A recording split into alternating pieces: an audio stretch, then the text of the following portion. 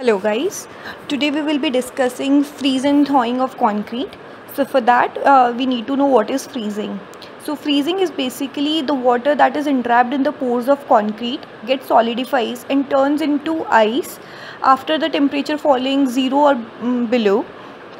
Whereas thawing as a result of like rising temperature the ice in the concrete melts into the water and that is thawing.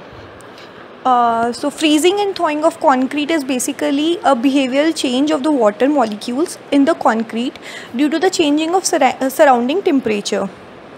So as per um, ASTM C666, we, we can perform freeze and thaw resistance to understand the behavior of concrete um, in such conditions and for that uh, they have given two procedures the procedure A that is rapid freezing and thawing in concrete whereas in uh, procedure B we can do rapid freezing in air whereas thawing in water. The exposure of concrete uh, to the temperature variations that, uh, that cause pore water to uh, cyclically freeze and thaw leads to the disintegration of the pores structure pore structure on account of the cycle of expansions. So for that we can say like when the temp uh, when the water freezes at 0 degree it expands. And therefore if the concrete is saturated with the water and the temperature of the atmosphere becomes such that the pore water freezes it will cause some kind of expansive stresses in the surrounding pore structures. And if this cause cyclically that is uh, like the water freezes and then the uh, and then the temperature in the atmosphere rises for a period of time it thaws and freeze again and again. And this is what the cyclic freeze and thawing is.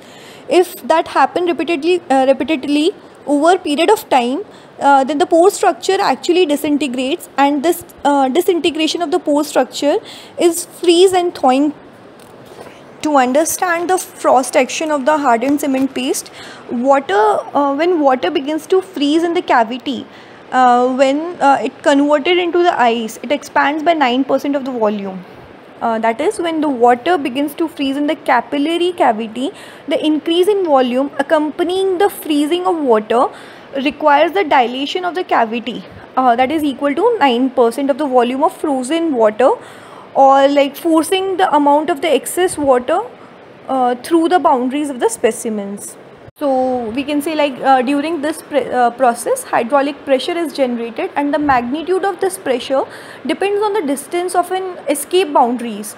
Uh, the permeability of this entering materials and the rate at which the ice is formed. Uh, we can say that the closed space boundaries are provided uh, by the air entraining agents uh, to control this action. So here are some examples like uh, when 0% air entraining agents were there so the elongation is very high. And when it is 2% uh, we can effectively reduce it to 800 whereas when we are using it to 10% there is no uh, appreciable dilation. So uh, with the air entraining agents we can like uh, secure our concrete from freeze and thawing process uh, now to understand like uh, and thaw process it is very important to understand like how many pores and what are the voids present in concrete. So basically there are three types of voids or uh, pores we can say like air voids capillary voids and the gel pores. So uh, for this we have to understand like capillary tension. As we know that due to capillary tension uh, meniscus forms. So here we can see say that the surface tension between the water molecules and the wall that is much greater than the surface tension between the water molecules so and uh, like we can also say that the sharper the angle is created the higher is the capillary rise.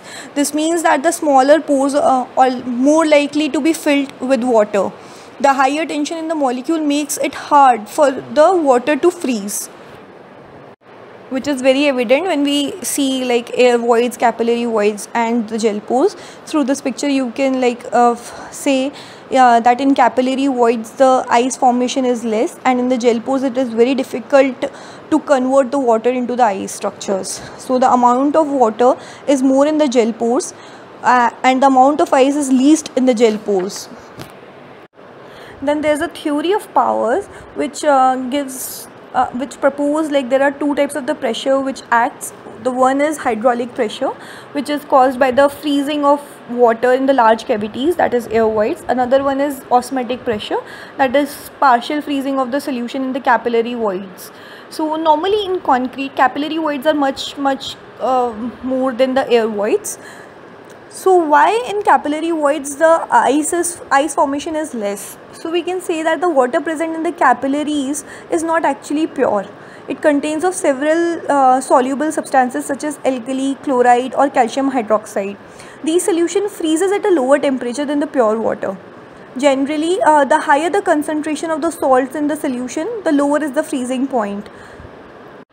Another reason is uh, like uh, um, the water that is held by CSH that is gel pores uh, that both interlayer or absorbed water in the gel pores in the cement paste cannot be rearranged itself to form ice at the normal freezing point of the water because the water is held very tightly rigidly and the mobility is restricted generally we can say that the more the rigidity of water is held the lower will be the freezing point and it is estimated that the water in the gel pores does not freezes above minus 78 degrees Celsius.